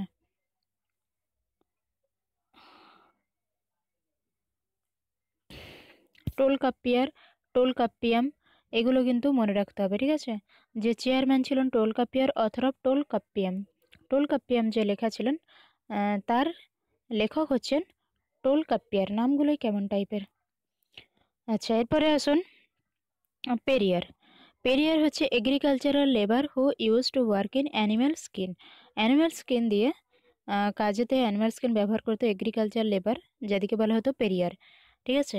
এরপরে এখানে তেমন কিছু নেই চলে আসছি আমরা গুপ্ত ডাইনাস্টি গুপ্ত ডাইনাস্টি আমরা সবাই জানি গুপ্ত বংশের প্রতিষ্ঠাতা হচ্ছে শ্রীগুপ্ত ঠিক আছে? শ্রীগুপ্তর নাম অনেক বইতে পাবেন না, কোনো বইতে পাবেন। জীবন মুখোপাধ্যায়তে পাবেন শ্রীগুপ্ত তারপরে আসে ঘটোৎকচ দেন আসে প্রথম চন্দ্রগুপ্ত, ঠিক আছে? প্রথম চন্দ্রগুপ্ত হচ্ছে ইম্পর্টেন্ট কিংবা গুপ্ত ডাইনাস্টি বা যদি বলা হয় প্রকৃত প্রতিষ্ঠাতা বলা হয়, তাহলে প্রথম চন্দ্রগুপ্তকে বলা হবে। সেই সময় কাল থেকেই হচ্ছে গুপ্ত বংশের মানে যেটা গুপ্তাব্দ যেটা, সেটা স্টার্ট হয়েছে উনিশশো কুড়ি থেকে বা উনিশশো উনিশ থেকে উনিশশো কুড়ি খ্রিস্টাব্দ স্টার্ট হয়েছে, ঠিক আছে? মহারাজাদেরা উপাধি গ্রহণ করেছিলেন প্রথম চন্দ্রগুপ্ত অ্যান্ড তিনি ছিলেন লিচ্ছবি দহিত্র। আচ্ছা এখানে একটা অনেকে বুঝতে পারে না, লিচ্ছবি দহিত্র বলা হয় সমুদ্রগুপ্তকে, কিন্তু লিচ্ছবি এখানে ছিলেন লিচ্ছবি নেশন ছিল, কিন্তু ম্যারেজ অ্যালায়েন্স তিনি হচ্ছেন যেটা ম্যাট্রিমোনিয়াল রিলেশনের মাধ্যমে তিনি তার সাম্রাজ্যকে বিস্তার করতে চেয়েছিলেন। এরপরে আসছে সমুদ্রগুপ্ত। এটা পরীক্ষায় এসেছিল গতবারে দু হাজার উনিশের যদি বলা হয় প্রিলিমসে যে চন্দ্র, সমুদ্রগুপ্ত হচ্ছে কার আগে? মানে সরি সমুদ্রগুপ্ত হচ্ছে কোন রাজার পরে হচ্ছে রাজ্যত্ব করেছেন? সেটা হচ্ছে প্রথম চন্দ্রগুপ্ত। অনেকে গুলিয়ে ফেলেন, চন্দ্রগুপ্তর আগে চন্দ্রগুপ্ত নাকি চন্দ্রগুপ্তর পরে চন্দ্রগুপ্ত? আচ্ছা তো এগুলো কিন্তু মনে রাখতে হবে। এরপরে আমরা আসছি এলাহাবাদ প্রশস্তি, যেটা হচ্ছে এলাহাবাদ প্রশস্তি কার লেখা? এলাহাবাদ প্রশস্তি হচ্ছে সমুদ্রগুপ্তে, গুপ্তের কবি হরিসেন। সমুদ্রগুপ্তকে কি বলা? সমুদ্রগুপ্তকে বলা Napoleon of India. Napoleon of India বলাই তার বিনা বাদনরত ছবি পাওয়া গেছে তার বিভিন্ন মুদ্রায়। এগুলো মনে রাখতে হবে, কবিরাজ বিক্রমাঙ্ক হচ্ছে তিনি টাইটেল পেয়েছিলেন অ্যান্ড এখানে বলা হয়েছে তিনি শ্রীলঙ্কায় কী করেছিলেন? না, মেঘদূত পাঠিয়েছিলেন। এরপরে আমরা আসছি দ্বিতীয় চন্দ্রগুপ্ত। আচ্ছা দ্বিতীয় চন্দ্রগুপ্ত অনেক সময় আসে ষষ্ঠ বিক্রমাদিত্যও তাকে বলা হয়, ঠিক আছে? তার কয়েন হচ্ছে বিভিন্ন সিলভার কয়েন বিভিন্ন কপার কয়েন তারা ইস্যু করেছিল, ঠিক আছে? আর এখানে হচ্ছে গুপ্তা বংশের সময়, গুপ্ত বংশে হচ্ছে কালিদাস, অমরসিংহ বরামির এরা ছিলেন সভাসদ বা সভা অলঙ্কৃত করেছিলেন। নাইন জেমস অর্থাৎ দ্বিতীয় চন্দ্রগুপ্তের সময় হচ্ছে নয়জন সভাসদ ছিলেন। এরপর আসছি আমরা হিস্ট্রি অফ কুমারগুপ্ত কুমারগুপ্তকে কি বলা হয়? হুন ইনভেনশন করেছিলেন, যার জন্য তাকে বলা হয় যে হুন রক্ষাকারী বা হচ্ছে ভারতের রক্ষাকারীও বলা হয়, ঠিক আছে? ভেরি ভেরি ইম্পর্টেন্ট কোশ্চেন এখান থেকে আসে। আচ্ছা সরি এখানে হচ্ছে এটা হবে স্কন্দগুপ্ত হুন আক্রমণকারী ঠিক আছে?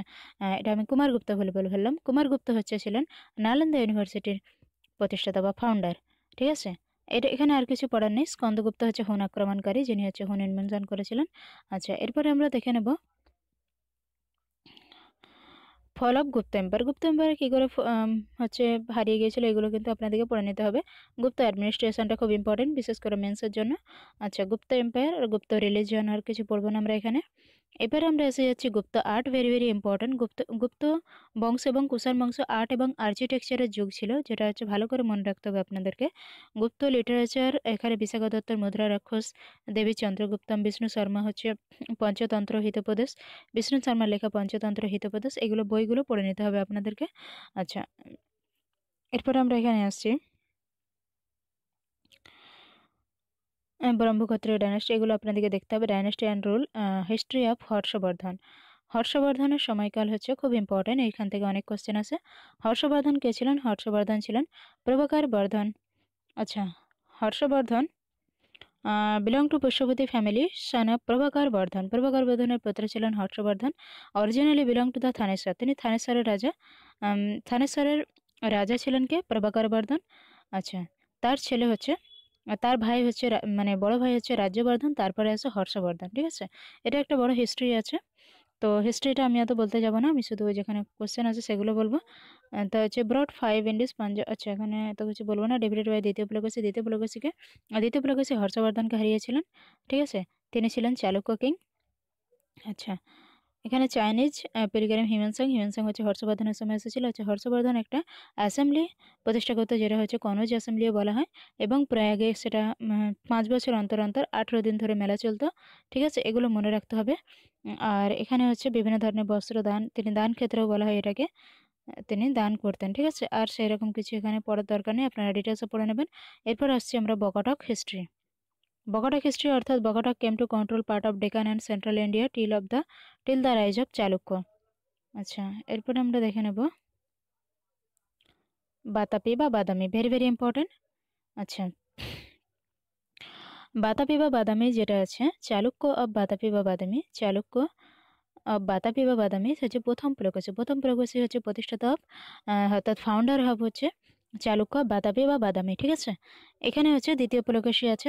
অর্থাৎ চালুক্য বংশেরই প্রতিষ্ঠাতা প্রথম পুলকেশী। তারপরে আসে দ্বিতীয় পুলকেশী। দ্বিতীয় পুলকেশী বিখ্যাত রাজা ছিলেন হর্ষবর্ধনকে হারিয়েছেন, ঠিক আছে? অর্থাৎ হর্ষবর্ধনকে ডেফিটেড করেছিলেন। তার তার যে সভাকবি ছিলেন রবিকীর্তি, তার লেখা আইহল প্রশস্তি আমরা সবাই জানি। আচ্ছা এরপরে আমরা দেখে নেব। এখানে আর আপনারা ডিটেলস পড়ে নেবেন। বিভিন্ন রাজাদের সাথে যে তার যুদ্ধ হয়েছে, সেগুলো কিন্তু পড়তে হবে। এবং তিনি হ্যাঁ এখানে একটা ইম্পর্টেন্ট কোশ্চেন দ্বিতীয় পুলকেশী কিন্তু অশ যেটা বলা হয় যজ্ঞ করেছিলেন, ঠিক আছে? আচ্ছা এরপরে আমরা আসছি রাষ্ট্রকূট বংশ। এখানে অনেক কিন্তু কোশ্চেন আছে, কিন্তু এগুলো অতটা ইম্পর্টেন্ট নয়। আপনাদেরকে দেখে নিতে হবে মেন্সের জন্য। রাষ্ট্রকূট বংশ, রাষ্ট্রকূট বংশের প্রতিষ্ঠা থেকে ছিলেন দন্তেদুর্গ আমরা জানি আচ্ছা এটা ছিল originally district officer under the Chalukya Badami Chalukya বাদামির আন্ডারে ছিলেন রাষ্ট্রকূট। আচ্ছা এখানে হচ্ছে ইম্পর্টেন্ট জিনিস হচ্ছে Amoghavarsha is compare the Vikramaditya to give patronage to men of letter Amoghavarsha কার লেখা? সরি অমুক বর্ষ হচ্ছে একজন রাজা ছিলেন এই সময়ের। ঠিক আছে, রাষ্ট্রকূট রাজা অমুক বর্ষ। তিনি কি করেছিলেন? তিনি হচ্ছে